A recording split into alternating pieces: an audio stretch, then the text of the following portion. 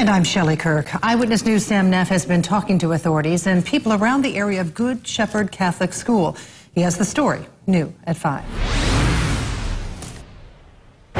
Police say a Good Shepherd Catholic school student is in custody today after making threats on social media to shoot people at his school. One was general to the school, and one was uh, more specific uh, towards some personnel. The superintendent of schools for the Catholic Diocese of Evansville says administrators immediately took action. The people that needed to know were notified immediately, and we've had a great day at Good Shepherd Catholic School today. While this is an ongoing investigation, the police have assured us at this time that there is no threat to the students or the school community. Still, it's a disturbing occurrence to some who live near the school, given what's happened at other schools around the country. I thought it was very shocking.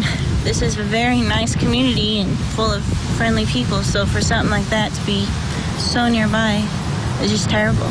Kids left the school Tuesday having learned one lesson, perhaps more important than any other that day. The message of see something, say something is an important reminder to all of us. In Evansville, Sam Neff, Eyewitness News.